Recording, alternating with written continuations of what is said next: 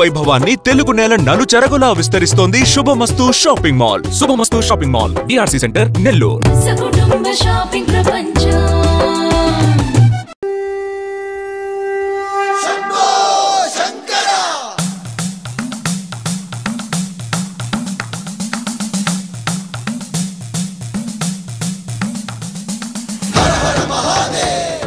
శ్రీ గురుభ్యో నమ. మాతృభ్యో నమ పితృభ్యో నమ శ్రీ విజయదుర్గా పరాదేవతాభ్యో నమ లక్ష్మీం క్షీరసముద్రరాజతనయాం శ్రీరంగదామేశ్వరీం దాసీభూతసమస్తదేవవనితాం లోకైకదీపాంకురాం శ్రీమన్మందకటాక్షలబ్ధ విభవ బ్రహ్మేంద్రగంగాధరాం త్వాం త్రైలోక్యకుటుంబినీం సరసిజాం వందే ముకుందప్రియాం శ్రీ గురుభ్యో నమ మాతృభ్యో నమ పితృభ్యో నమ శ్రీ విజయదుర్గా పరాదేవతాభ్యో నమ పరమ పవిత్రమైనటువంటిది ఈ శోభకృత్ నామ సంవత్సరంలో అత్యంత మహిమాన్వితంగా ఏ మాసం విరాజిల్లుతూ ఉన్నదో అటువంటి విశేషమైనటువంటి కార్తీక మాసంలో ఇవాల్టి రోజు ఎనిమిదవ అధ్యాయాన్ని వీక్షిస్తున్నటువంటి యాక్ట్ టీవీ ప్రేక్షకులందరికీ కూడా నమస్కారం. అమ్మవారి యొక్క సంపూర్ణమైనటువంటి ఆశీస్సులు మీపై ఎప్పుడూ ఉండాలని సదా సర్వదా ఉండాలని కోరుకుంటున్నాను. మనం ఇవాల్టి రోజు అధ్యాయంలో హరినామస్మరణ యొక్క ఫలితం ఏమిటో తెలుసుకోబోతున్నామండి. హరినామం ఇక్కడ నామస్మరణ అనేటటువంటి దానికి ఎంతో ప్రాధాన్యత ఉన్నది. ఆ ప్రాధాన్యత కలిగినటువంటి నామస్మరణ గురించి ప్రత్యేకంగా ఈ వశిష్ఠ మహాముని ఈ కార్తీక మాసంలో ఉండేటటువంటి వ్రత ఫలిత ఫలితాలన్నింటినీ చెబుతూ జనక మహారాజుకి ఈ విశిష్టతను తెలియజేశారు. తన సందేహాలను తీర్చుకోవడం కోసంగా మహర్షి జనకుడు ఈ విధంగా అడుగుతున్నాడండి. అంటే వశిష్ఠ మహాముని అడుగుతూ ఉన్నాడు మహానుభావ మీరు చెప్పినటువంటి కార్తీక వ్రత ఫలితాలన్నింటినీ శ్రద్ధగా విన్నాను. దీనివల్ల నాకు ఒక సందేహం వచ్చిందయ్యా.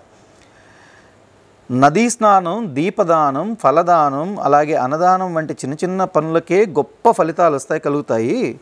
స్వర్గ సుఖాలు కలుగుతాయని విష్ణులోకంలో ఈ విశేషమైనటువంటి నివాసం ఏర్పడుతుందని ధర్మశాస్త్రాలు మరియు దుర్మార్గ ప్రవర్తన కలిగినటువంటి వారు పాపాలను పోగొట్టాలంటే వేదాల్లో చెప్పినటువంటి ప్రాయశ్చిత్తాలన్నీ కనుక చేస్తే అవి కూడా వెళ్ళిపోతాయని చెప్తున్నారు. ఎన్నో యజ్ఞాలు యాగాలు చేస్తే కానీ గొప్ప పుణ్యం రాదని చెప్తారు కదా. కానీ మీరు మాత్రం కేవలం కార్తీక వ్రతం చేసినందువల్లనే అన్ని పాపాలు పోయి చెప్పలేనంత పుణ్యం వస్తుందంటున్నారే. మరి ఎలా సాధ్యమయ్యేది కొద్దిపాటి పుణ్యంతోనే ఇంత గొప్ప ఫలితాలు ఎలా వస్తాయి? మీరేమో సూక్ష్మంలో మోక్షం అన్నట్టుగా చెప్తున్నారు. ఇది సాధ్యమయ్యే పనేనా? ఇందుకు అసలు ఉన్న రహస్యం ఏమిటి? పెద్ద పర్వతాన్ని వేలు కొనతో తొలగించినట్లుగా ఉంది మీరు చెప్తున్న విషయాన్ని. వినటానికి బాగుంది కానీ ఆచరణలో అది ఫలితాన్ని ఇస్తుందా? అగ్ని ప్రమాదంలో పూర్తిగా చిక్కుకొని పోయినటువంటి వారి మీద దోసెడు నీళ్ళు పోస్తే మాత్రం ఫలితం ఏముంటుంది అలాగే ఎన్నో పాపాలు చేసిన వారు కూడా ఒక్కసారి కార్తీక స్నానం చేస్తే ఇంత ఫలితం వస్తుందా? మీరు చెప్తున్న పురాణ గాథలన్నీ ఇలాగనే ఉన్నాయి. ఘోరమైనటువంటి పాపాలు చేసిన వాళ్ళు కూడా చిన్నపాటి కార్తీక మాస వ్రత ఫలితాన్ని పూర్తిగా పొందినంత మాత్రం చేత స్వర్గాన్ని పొందుతారా? నాకు కార్తీక వ్రతం మీద అనేక స- సందేహాలని మీరు అనుకున్నారేమో నాకు లేదు కానీ చిన్నపాటి ధర్మకార్యానికి అంత గొప్ప పుణ్యం ఎలా వస్తుందనేది మాత్రమే నాకు అర్థం కాకుండా ఉన్నది. దయచేసి నా సందేహాల్ని తీర్చండి. ఇది వాస్తవంగా జనక మహారాజు గారికి వచ్చిన సందేహం కంటే కూడా ఇవాళ జనజీవనంలో ఉండేటటువంటి అనేక మందికి ఉన్నటువంటి సందేహం ఇది. ఒక భగవంతునికి మనం ప్రార్థన చేసినంత మాత్రం చేత ఓ తప్పు చేసేసి క్షమించండి స్వామి తప్పు అయిపోయిందని పోయి టెంకాయ కొట్టంగానే ఆ పాపమంతా పోతుందా? నిజంగా అది సాధ్యమవుతుందా? ఇలాగైతే అందరూ దేశమంతా కూడా మిగతా వ్యాపారాలు ఆపేసేసి టెంకాయల వ్యాపారాలు పెట్టుకుంటారు. ఓ పాపం చేయడం టెంకాయ తీసుకుపోవడం దేవుడి దగ్గర కొట్టేయడం నా పాపం పోయిందని చెప్పుకోవడం. అది నిజంగా సాధ్యమవుతుందా? అంటే ప్రాయశ్చిత్తానికి మించినటువంటిది ఇంకోటి లేదు అంటారు ప్రశ్చాత్తాపానికి మించినటువంటిది ఇంకోటి లేదంటారు. అంటే చేసిన తప్పుని తిరిగి చెయ్యకుండా ఒకసారి తప్పు జరిగిపోయింది. ఇక మళ్ళీ జీవితంలో ఆ తప్పుని తిరిగి చేయకుండా తెలిసి కానీ తెలియక కానీ నేను ఒక తప్పును చేశాను. ఆ తప్పుని మన్నించవయ్యా అని ప్రార్థన చేసుకునే సందర్భంలో ఇదిగో నీ సమస్యకి పరిష్కారం ఉన్నది. ఏ రకమైనటువంటి పరిష్కారం అంటే ఇదిగో ఈ కార్తీక మాసంలో ఈ వ్రతాన్ని చేయి నీకు ఫలితం దక్కుతుంది అని చెప్పి పెద్దలు చెప్పారు. దీని అర్థం ప్రతిసారి ఒక పాపం చేయడం మళ్ళీ కార్తీక మాసంలో వెళ్ళి నదిలో మునగడం మళ్ళీ పాపం పోయిందండగానే ఇంకో పాపం చేయడం. అది మాత్రం కాదండి. తెలిసి కానీ తెలియక కానీ ఒకసారి చేసినటువంటిది తిరిగి తిరిగి నువ్వు కనుక చేస్తూ ఉన్నావనంటే భగవంతుడు కాదు కదా ఎవరు క్షమించాడు నేను కానీ తెలిసి కానీ తెలియక కానీ చేసినటువంటి పాపం ఇంక జీవితంలో అది నాకు తెలియకుండా జరిగిపోయింది. కాబట్టి నేను పశ్చాత్తాపడుతున్నా మళ్ళీ జరగకుండా చూసుకుంటా చేసిన కర్మని నన్ను పూర్తిగా అందు నుంచి బయట వెయ్యి అని ప్రార్థన చేసి అప్పుడు నువ్వు ఇచ్చేటటువంటి ఆ ప్రార్థనని భగవంతుడు అనుగ్రహిస్తాడండి. ఈ రహస్యం అర్థం కాక చాలామంది ఏం చేస్తారంటే దేవాలయానికి వెళ్ళటంగానే టెంకాయలు కొడితే పాపాలు పోతాయా? పోతాయి. కానీ నువ్వు మళ్ళీ తిరిగి చేయకుండా ఉంటాయి అంతేగాని కత్తి తీసుకుని ఒకరిని పొడి చేసి స్వామి క్షమించు నేను తప్పు చేశాను అని పోయి నిమ్మకాయల మాల ఒకటేసి టెంకాయలు ఇచ్చి అంత పెద్ద నివేదన ఇచ్చేసి కుంభాలు కుంభాలు నివేదన ఇచ్చేసి అయిపోయింది స్వామి నా కర్మ తీరిపోయింది వాళ్ళే సెల్ఫ్ సర్టిఫికేట్. అదంతా సెల్ఫ్ సర్టిఫికేట్. మళ్ళీ ఆయన ఎవరు? దేవుడు వచ్చి చెప్పడు లేదంటే అయ్యవారు చెప్పడు. ఈయనే సెల్ఫ్ సర్టిఫికేట్ ఇచ్చుకుంటాడు నా కర్మ పోయిందని. మళ్ళీ ఇంకోసారి ఇంకొకరిని పొడిచి మళ్ళీ పోయి కుంభాల మీద పోస్తే ఈ కర్మ పోదండి. అది అనుభవించాల్సిందే మళ్ళీ ఎప్పటికైనా. పశ్చాత్తాపం అనేది జరగాలి అంటారు. ఈ జనకుడు అడిగినటువంటి ఈ సందేహాల్ని విన్నటువంటి వశిష్ఠ మహాముని చిరునవ్వు నవ్వుతూ రాజా నువ్వు అడిగిన ప్రశ్నలు సరైనవే. నీ ప్రశ్నలన్నింటికి సమాధానం చెప్తాను విను అంటూ వశిష్ఠుడు చెప్పడం ప్రారంభించాడయ్యా. వేదాలు ధర్మశాస్త్రాలు ఎన్నో ధర్మ సూక్ష్మాలన్నింటినీ చెప్తున్నాయి. ఇవి మన మును మును మనసులకు ఒక్కోసారి ఒక్కో విధంగా అర్థమవుతాయి.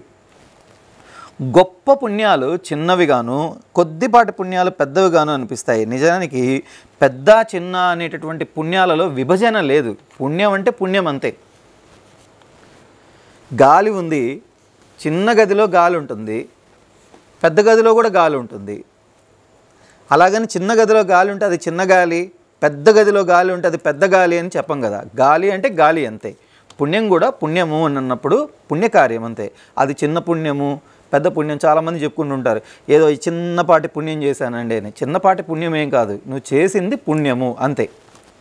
కాబట్టి ధర్మ సూక్ష్మాలలో కూడా సాత్వికము రాజసము తామసం అనేటటువంటివి మూడు రకాలుగా ఉంటాయండి. సాత్విక గుణాలు చాలా చిన్నవిగా అనిపిస్తాయి కానీ గొప్ప ఫలితాన్ని ఇస్తాయి. దేశ కాల పాత్రలన్నీ బట్టి ఆ వాటిని గురించి ఆలోచించేసేటటువంటి ధర్మాలు సాత్వికము లేక సత్వధర్మాలు అవుతాయి. కాబట్టి ఈ విశేషమైనటువంటి పరమేశ్వరార్పణమస్తు అని చెప్పినప్పుడు ఎప్పుడైతే చెప్తామో అది ఆయన ఖాతాలోకి వెళ్ళినప్పుడు నీ బాధ్యత ఏదైతే ఉన్నదో ఇప్పుడు ఆయన చూసుకుంటాడు అది నీకు సంబంధం లే. కాబట్టి నీ పాపము నీ పుణ్యానికి సంబంధించినటువంటి వ్యయము దానికి సంబంధించినటువంటి లాభం బాధ్యత అంతా ఆయనదే. చెప్పవలసిన బాధ్యత నీదే. అందుకే చాలామంది ఏం చేస్తూ ఉంటారు? ఎవరికైనా ఏదైనా ఇస్తున్నప్పుడు కృష్ణార్పణమస్తు అని అంటారు. లేదంటే భగవతార్పణమస్తు అని అంటారు. తీసుకునేవాళ్ళు కూడా గృహామి గృహాతు అని చెప్తూ ఉంటాం. ఆ మంత్రం చదివిస్తాడు అయ్యవారు చెప్పేటప్పుడు ఇది పరమేశ్వర అనుగ్రహంగా నేను తీసుకుంటున్నాను. ఇది పరమేశ్వర అనుగ్రహంగా నీకు అర్పిస్తున్నాను. అంటే ఆయన ఖాతాలోకి వెళ్ళిపోతుంది. ఎప్పుడు ఆయన ఖాతాలోకి వెళ్ళిందో? బాధ్యత అయింది ఇటువంటి బుద్ధి కలిగిన వాళ్ళని ఏమంటారంటే ఇలా ప్రతిదీ పరమేశ్వర అర్పణమస్తున్న వాళ్ళది సాత్విక బుద్ధి అంటారు. ఇటువంటి సత్వ ధర్మానికి చాలా ప్రభావం ఉంటుందండి. సాత్విక ధర్మం మన దగ్గర ఉన్నటువంటి అన్ని పాపాలని పోగొడుతుంది. కాబట్టి మనల్ని ప సంపూర్ణంగా పవిత్రుల్ని చేస్తుంది. దేవలోక ముఖాన్ని సంపూర్ణంగా ఆ సుఖాలని కూడా కలగజేస్తుంది. స సంపూర్ణంగా స్వాతి కార్తెలో ముత్యపు చిప్పలో పడినటువంటి చిన్న వాన నీటి చినుకు కూడా దగదగా ఎలాగైతే మెలుస్తుందో అలాగే దేశ కాల పాత్రలని కూడా గుర్తించి చేసేటటువంటి ధర్మకార్యం చిన్నదైనా కూడా చాలా గొప్పగా ప్రకాశిస్తుంది అని చెప్పడం జరిగిందండి. ఫలితాన్ని కోరుకుని చేసేటటువంటిది ఏదైనా ఉంటే దాన్ని ఏమంటాము అని అంటే రాజస ధర్మాలు అని అంటాం. మనం దేవాలయానికి వెళితే ఏం చేస్తాం? అయ్యవారికి వెళ్ళిన వెంటనే టెంకాయ ఒకటి ఇస్తాం అరటిపళ్ళు ఇస్తాం తమలపాకులు ఇస్తాం కడ్డీ ప్యాకెట్ ఒకటి ఇస్తాం అవన్నీ కూడా అన్నీ ఒక్కొక్కటే ఇస్తాం. కానీ సంకల్పం మాత్రం ఏం చేస్తాం? ఓ పెద్ద చిట్టా ఇస్తాం. మన ఇంటి పేరు మన ఇంట్లో పక్కింటి వాళ్ళ పేరు ఎదురింటి వాళ్ళ పేరు మన తాత వాళ్ళ దగ్గర బంధువుల పేరు మన అమ్మమ్మ వాళ్ళ ఇంటి తరపున బంధువుల పేరు ఈ పేర్లు ఆ పేర్లు స్నేహితుల పేర్లు అన్నీ ఓ చిట్టా. పాప మీ అదంతా చదివేసరికి అయ్యవారికి అయిపోతుంది ఓ పది పదిహేను నిమిషాలు. అవన్నీ పూర్తి చేసుకుని ఆ లిస్ట్ ఇచ్చిన తర్వాత ఏం చెప్తాం? స్వామి ఇదిగో నాకు ఇంత డబ్బు కావాలి. లేకుంటే నాకు ఇంట్లో ఈ సమస్య ఉంది. ఏమీ లేదనుకోండి మా ఆయన నా మాట వింటలేదు. ఇది ఇప్పుడు ఎక్కువ అయిపోయింది ఎవరైనా ఎక్కడికైనా వెళ్తూ ఉంటే కూడా ఈ మధ్య మా ఆయన మా మాట వింటల్లా సంతోషపడాలి. అంతకంటే అదృష్టం లేదు. వింటేనే ఏదైనా సమస్య వినకపోతే ఏమీ సమస్యలు లేవు అసలు. కాబట్టి ఇట్లా ఏదన్నా కోరికలు కోరుకుంటున్నారనుకోండి కోరుకొని చేసేటటువంటివి ఏదైనా పూజలు ఉన్నాయనుకోండి ఆ ఫలితాన్ని కోరుకొని చేసేటటువంటి ధర్మాలు కానీ పూజలు కానీ వీటిని ఏమంటారు అంటే రాజసము అంటారు. శాస్త్రం ఏదైతే చెప్పిన విధంగా చేసినవి కావు అటువంటి ధర్మాలు పునర్జన్మకి మళ్ళీ కారణమవుతుంది. అలాగే కొన్ని కష్టాలకు కూడా కారణమవుతుంది. కాబట్టి ఇంక ఇది కాకుండా దేశ కాల పాత్రతల్ని కూడా ఆలోచించకుండా చేసేటటువంటివి ఏదైతే ఉన్నాయో వాటిని ఏమంటారంటే తామస ధర్మాలు అంటారు. శాస్త్రం చెప్పిన విషయాలు ఏవి కూడా ఇందులో ఉండవు. డాంబికంగా చేసేటటువంటి పనులు. అంటే ఎవరైనా మనల్ని కొద్దిగా రెచ్చగొట్టారనుకోండి. రెచ్చగొట్టంగానే అవతల వాడికి ఏదో ఇవ్వడం కోసం ఏం చేస్తాం? పది మంది చూస్తూ ఉండంగా అది కూడా. ఆ పది మంది చూస్తూ ఉండంగా డాంబికంగా ఏం చేస్తామంటే అతని చేతికి ఇస్తాం అది నిజంగా వాడికి ఉపయోగపడుతుందా లేదని కూడా ఆలోచించాం. పది మంది మనల్ని గుర్తించాలి అన్న ఉద్దేశంతో అవతల వాడికి అది అది అపాత్రమా పాత్రమా అని కూడా ఆలోచించకుండా ఇచ్చేస్తూ ఉంటారు కొంతమంది. అది నిజంగా పాత్రమైతే ఆయన కుటుంబానికి వినియోగించుకుంటాడు. అది అపాత్రమైందనుకోండి కుటుంబానికి కాకుండా వారుని వాహనికి వినియోగించుకుంటాడు. అంతే తేడా. South India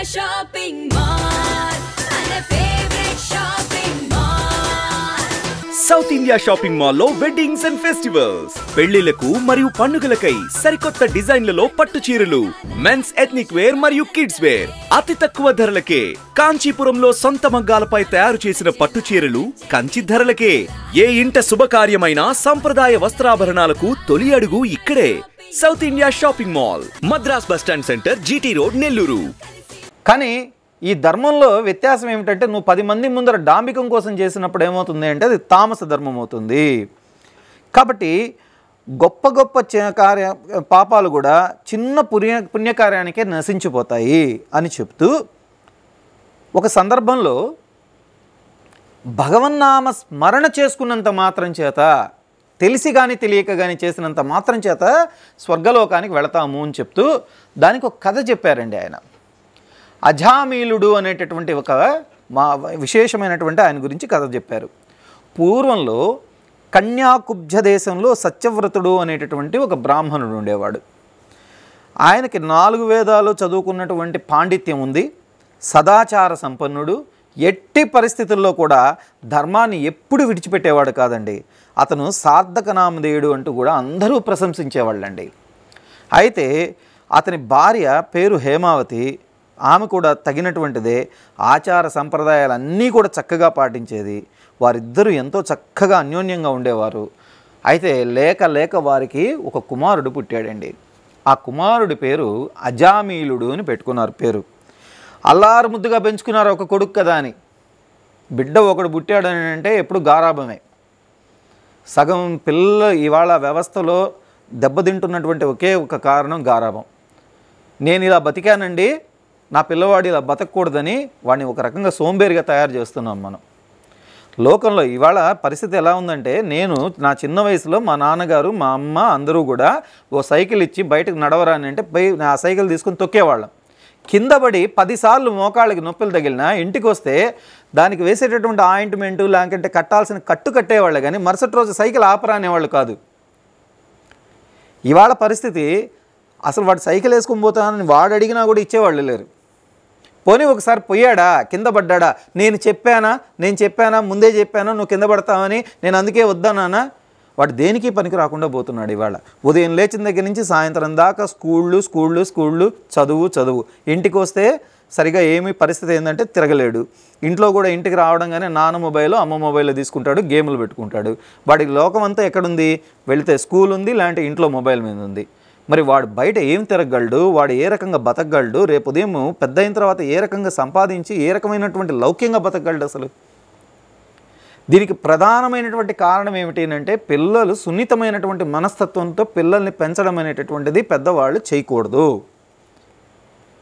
నేను ఇలా బతికాను కాబట్టి నాలాగా నా పిల్లలు బతకూడదు అంటే నువ్వు ఇవాళ అలా బతికావు కాబట్టి ఇవాళ ఇంత సంతోషంగా ఉండగలుగుతున్నావు. ఈ సొసైటీలో ఈ సంఘంలో ఇవాళ ఇంతమందికి సమాధానం చెప్పగలుగుతున్నావు. నీలాగా నువ్వు తయారు చేయలేకపోవడం వల్ల నీ కుమారుడు ఇవాళ రేపు ఉదయం సంఘంలో బతకలేని పరిస్థితిలో తయారవుతున్నాడు. కాబట్టి గారాభము అనేటటువంటి వ్యవస్థని మాత్రం దయచేసి ఎప్పుడూ కూడా ఎంత సమపాళలో చూసుకోవాలన్నింటినీ. అన్నీ ఒకే విధంగా కనుక ఎక్కువ శ్రద్ధ పెట్టి వాళ్ళ మీద వాళ్ళు చేయాల్సిన పనులు కూడా మనమే చేసేటటువంటి పరిస్థితి గనక వస్తే రేపు భవిష్యత్తులో వాళ్ళు బతకడానికి కావలసినటువంటి జీవన విధానాన్ని తెలుసుకోలేక అందరి చేత మోసగింపబడుతూ ఉంటారు. ఎక్కువ ఈ మధ్యకాలంలో ఈ సైబర్ నేరాలు ఇవన్నీ జరగడానికి కూడా ఇవే కారణాలు.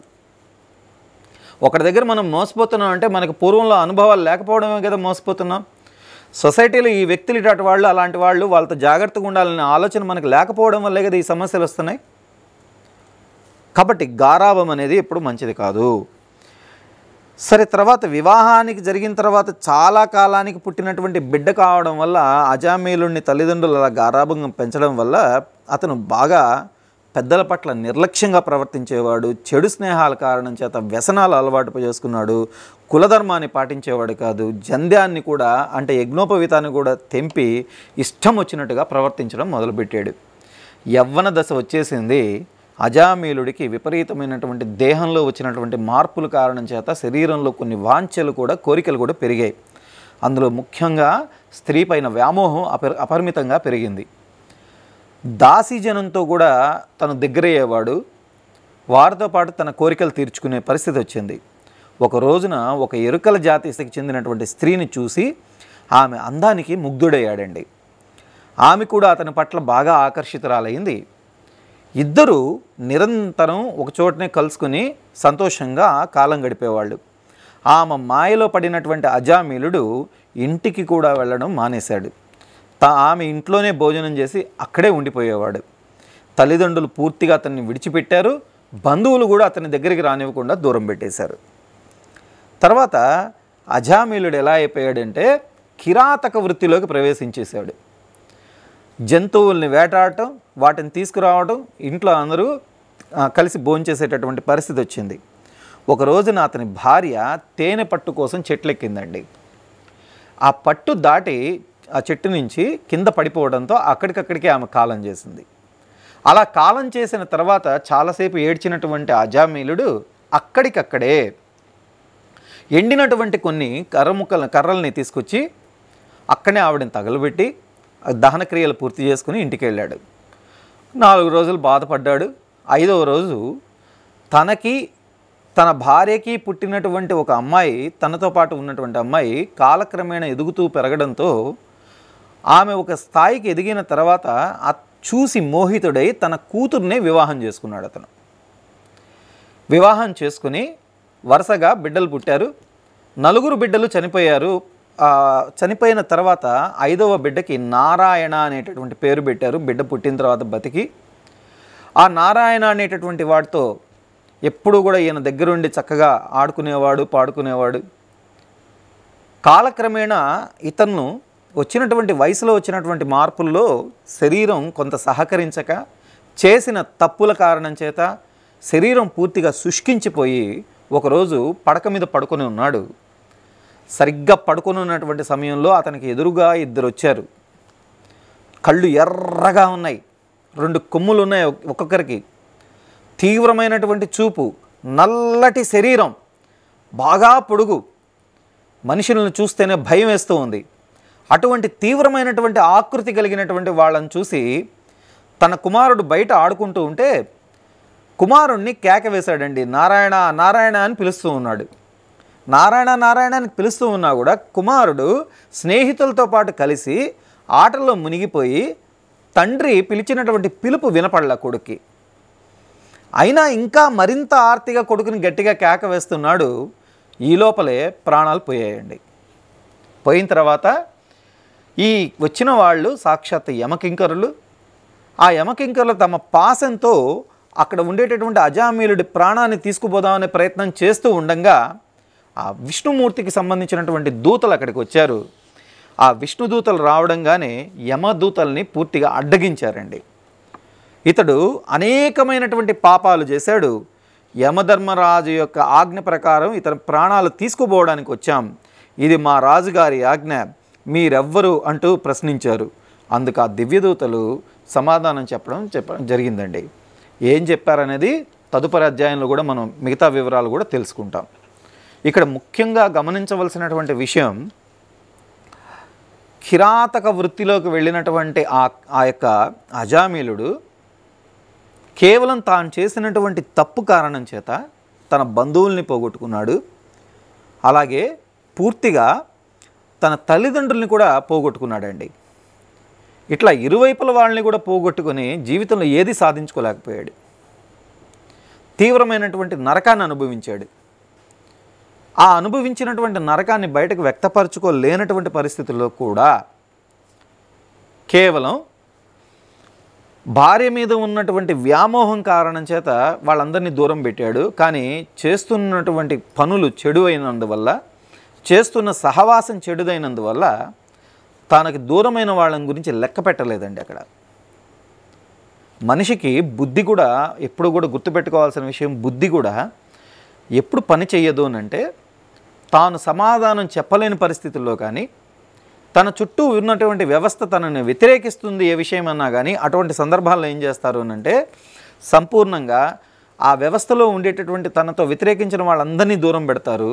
తనకి ఇష్టం ఉన్నా ఇష్టం లేకపోయినా కేవలం ఈ వ్యక్తితో మాత్రమే దగ్గరయ్యే ప్రయత్నం చేస్తారు. ఇటువంటి సందర్భంలో చివరి దశకు వచ్చేటప్పటికి ఏమవుతుందంటే ఇవన్నీ తెలుసుకున్నా కూడా ఎవరితో దగ్గర కాలేక మానసికమైనటువంటి క్షోభపడి చాలా తీవ్రమైనటువంటి నరకం అనుభవిస్తూ ఉంటారు. ఈ విషయాలు ఏమిటనేది మనం తదుపరి అధ్యాయంలో మళ్ళీ చక్కగా తెలుసుకుంటాం.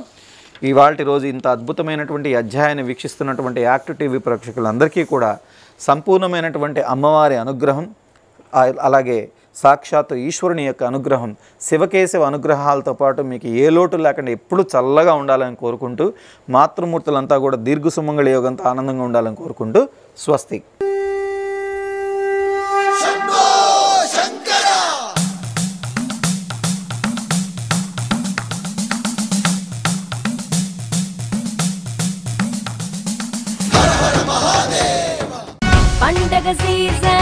వచ్చేసిందే. ఆర్ఎస్ బ్రదర్స్ డే వెళ్దామా? ఆర్ఎస్ బ్రదర్స్లో వివాహ మరియు పండగ వేడుకలు పెళ్ళి చూపుల నుండి మాంగల్య ధారణ వరకు కావలసిన కంచిపట్టు చీరలు కంచి సొసైటీ ధరలకే అమ్మకం. లేడీస్ వేర్ మెన్స్ వేర్ మరియు కిడ్స్ వేర్లో సరికొత్త పండగ కలెక్షన్. సంప్రదాయమైన పెళ్ళి పట్టు చీరలకు నైన్ వన్ సిక్స్ బంగారు ఆభరణాలకు RS brothers textiles and jewellery Nellore.